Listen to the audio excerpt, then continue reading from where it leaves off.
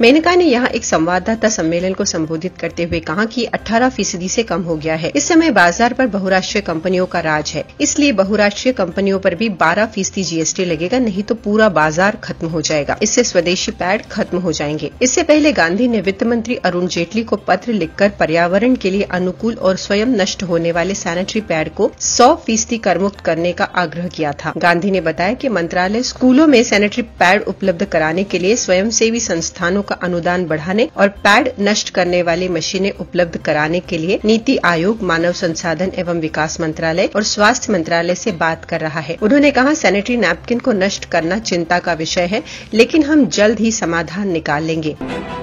देश और विदेश की हर तरह की न्यूज को हिंदी में सबसे पहले देखने के लिए हमारे चैनल लोकमत न्यूज हिंदी को सब्सक्राइब करना ना भूले